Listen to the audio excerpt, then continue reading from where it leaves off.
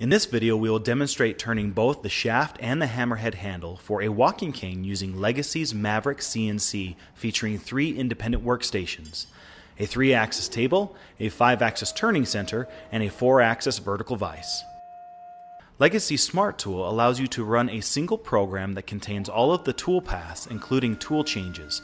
Each tool will automatically touch off the Smart Tool and set the Z-axis to the proper depth. To begin, the adjustable bed is set level to turn all of the details that can be programmed using a 4-axis turning center. Starting at the tailstock end, we simply turn the blank round. At the headstock end, we turn the blank round using a couple of passes to waste the excess material. The finish pass has a small step over resulting in a very smooth finish pass. Using the same surface planing bit available from Magnate.net, we removed more of the material in the center in preparation for turning the contoured handle.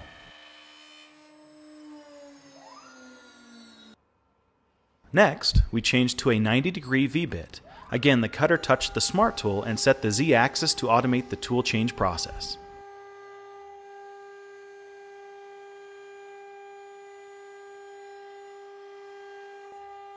All of the tool paths for the shaft are programmed using Legacy's C-Cam software, allowing you to take full advantage of the Maverick's 5-axis turning capabilities.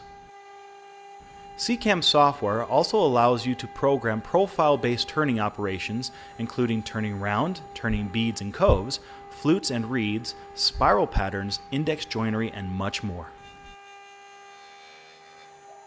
You can see how we use the same cutter for various operations, such as the diamond pattern, and a small cove at each end of the pattern, and to chamfer the tip at the end of the cane.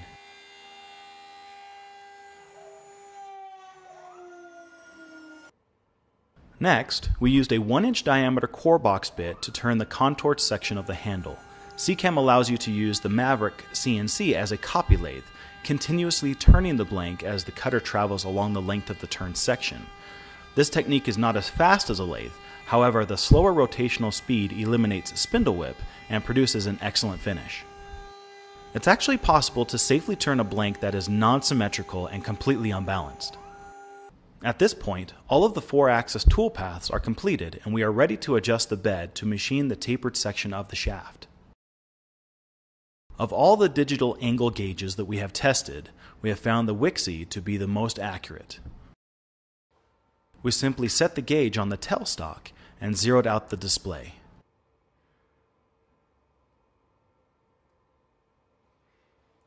Next, we loosened the locking screws and adjusted the bed 1.0 degrees.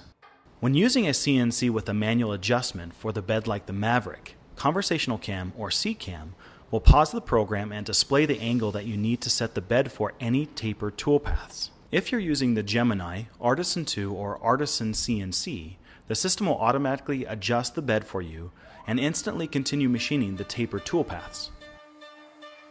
The system made several rough passes to quickly remove most of the material and then made a finish pass with a small step over producing a very smooth finish.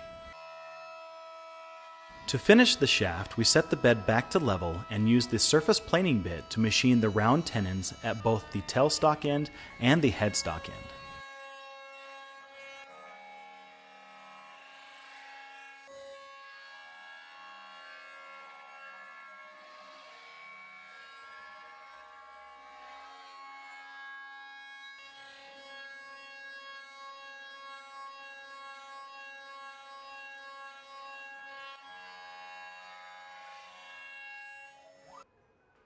The shaft is now complete.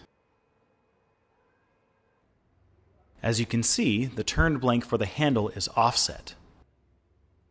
Before starting the program for the handle, we manually rotated the part to position the offset surface on top. Then we used the surface planing bit to turn the hammerhead round. While you may not want to try turning something this unbalanced on a lathe, Machining the part on a CNC gives you perfect control and safely completes the process.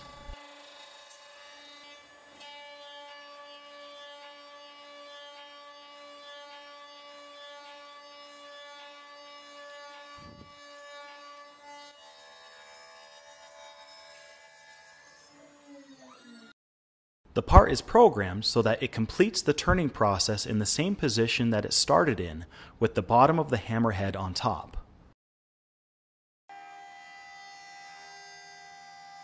The 90 degree V-bit chamfered the head and then chamfered the bottom of the hammerhead to receive the handle.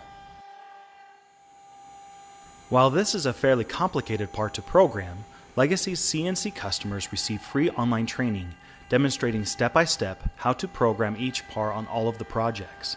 If you would like a guest pass to the weekly webinar training sessions, please contact Legacy at 1 800 279 4570.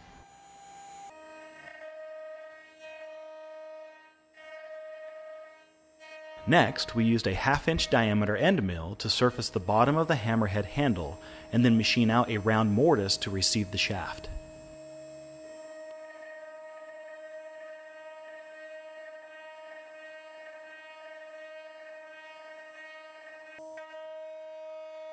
The same cutter is used to contour the edges of the hammerhead and then machine the eight sided neck of the hammer.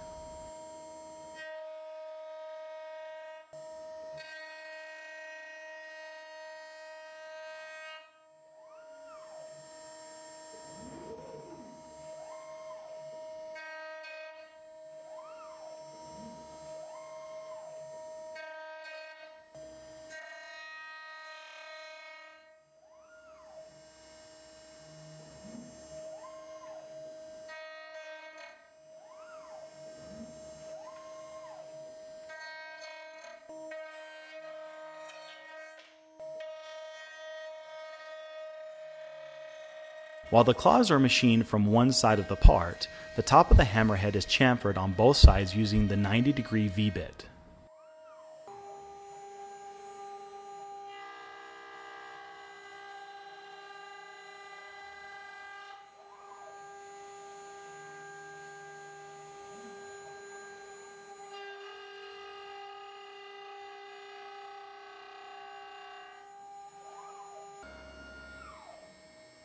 And finally, a tapered ball and carving bit was used to machine the gap between the claws.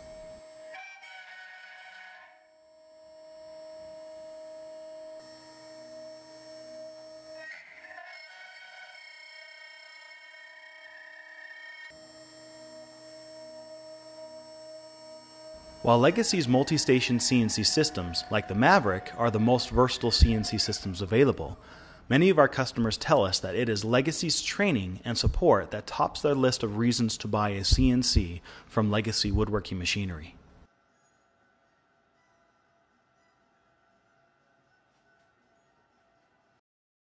If you have enjoyed this video, please like and subscribe and share it with others. If you would like to learn more about Legacy's full line of innovative CNC systems and superior training program, please call us at 1 800 279 4570. And be sure to visit our website at legacycncwoodworking.com.